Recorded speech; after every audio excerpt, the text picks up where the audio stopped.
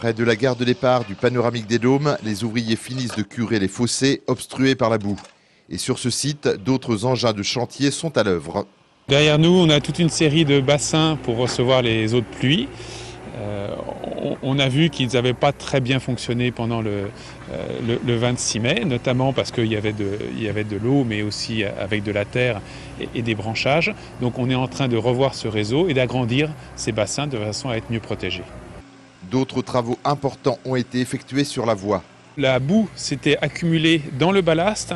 Il était nécessaire du coup de complètement renouveler euh, le ballast. On l'a aspiré et on a remis du ballast neuf.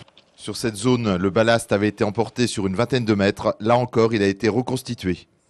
Tous les obstacles à l'écoulement des eaux sont supprimés pour éviter de nouveaux dégâts. Le train a repris ses essais. L'exploitation commerciale pourrait reprendre avant le 23 juin sous réserve du rapport de l'expert qui pourrait imposer de nouveaux travaux pour sécuriser le site. Et en attendant la réouverture, les parapentistes professionnels disposent d'une dérogation exceptionnelle pour pouvoir monter au sommet du Puy de Dôme par la route de service avec leur véhicule.